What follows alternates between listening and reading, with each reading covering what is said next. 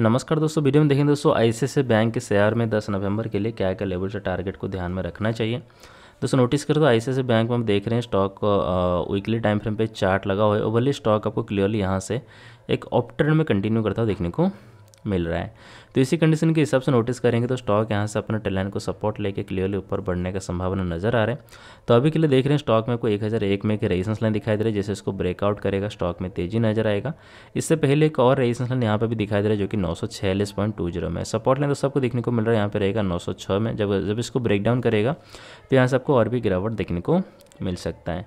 तो दोस्तों आई बैंक के शेयर में बात करेंगे कि नियरेस्ट में हमें क्या क्या लेवल्स है क्या क्या टारगेट को ध्यान में रखना चाहिए। दोस्तों, ये एक रेजिस्टेंस लाइन है four nine four nine point four zero और इससे पहले और एक रेजिस्टेंस लाइन दिखाई दे रहा है जो कि नौ सौ बयालीस में रहेगा। सपोर्ट लाइन दोस्तों, आपको देखने को मिल रहा है, नौ सौ तैतीस से नौ सौ चौंतीस में रहेगा। जब इसको ब्रेक डाउन करेगा तो फिर रहेगा नौ सौ सत्ताईस पॉइंट फोर ज़ीरो तो वीडियो को लाइक करें, चैनल को सब्सक्राइब करने के बाद बेल आइकन भी दबा लीजिए। वीडियो सिर्फ़ एक एजुकेशन पर्पज बनाए गए, स्टॉक में बाय सेल या होल्ड करने की कोई भी सलाह, सुझाव नहीं। धन्यवाद।